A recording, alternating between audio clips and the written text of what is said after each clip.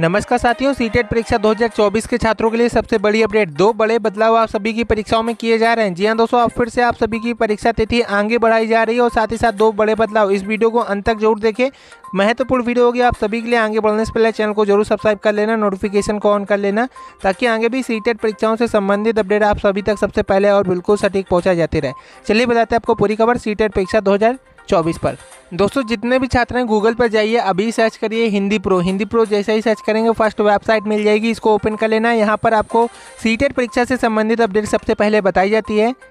और आज काफ़ी बड़ी अपडेट आ चुकी है सीटेट परीक्षा दो चौबीस पर। जी हाँ दोस्तों, बड़ा फैसला जारी हुआ। तीन बड़े फैसले यहाँ पे लिए गए हैं। आज जितने भी हमारे छात्र हैं, आपको बता दें, केंद्रीय माध्यमिक शिक्षा परिषद यानी कि सीबीएसई सीटेट परीक्षा का पेपर लीक ना हो। इसके लिए आज तीन बड़े फैसले जारी कर दिए हैं। और सी की परीक्षाओं में ऐसा सी करता रहता है। आपको बता दें, इस बार आप सभी लोगों के परीक्षा केंद्रों को भी चिन्हित किया जाना शुरू किया जा चुका है।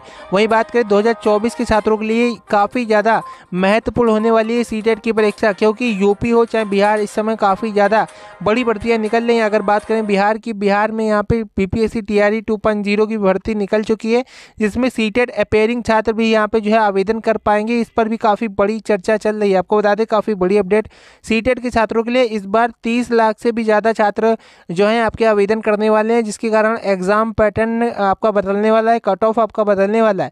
और इस पर आज एक और काफ़ी बड़ी नोटिस आ चुकी है, आप लोग भी जाकर इस नोटिस को यहाँ पर क्लिक करके अपना डाउनलोड कर सकते हैं।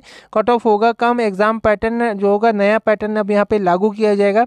सी परीक्षाओं को अब यहाँ पे जनवरी में, दूसरे हफ़्ते में करवाया जाने वाला है। आज की काफ़ी बड़ी अपडेट। सी टेट के छात्रों के लिए सामने निकल के आ रही है। आपको बता दें सी परीक्षाओं का नोटिफिकेशन आपका अक्टूबर में जारी होना था और इसी कारण अब आपका नोटिफिकेशन अब जारी हुआ है, जिसके कारण अब आप सभी के जो एग्ज़ाम है वो दो एक महीने आगे बढ़ रहे हैं, एक महीने आगे बढ़ रहे हैं, यानी कि जनवरी दो हज़ार चौबीस में आप सभी की परीक्षाओं को अब कंडक्ट कराया जाएगा।